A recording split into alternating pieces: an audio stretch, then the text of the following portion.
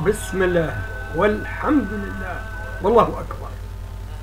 الآن بحول الله تعالى سنقرأ بكل اجتهاد وكل أدب لمقاربة بعض آيات من سورة الفتح.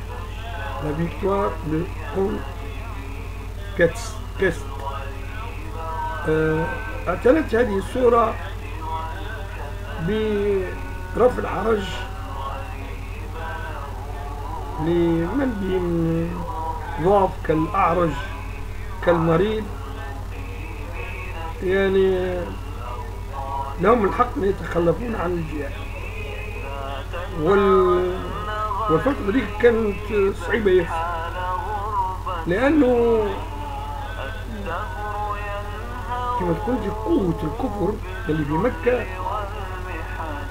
المؤمنين ما زالوا ما هاجروش هجرة لمدة لتجعلهم يتمرنوا في التهيؤ لمجابهة الكفار وهذا أهل أهل الجيوش يفهموا شيئا أكثر من بدقائق يحضروا لها الحرب والملاقات والصدام.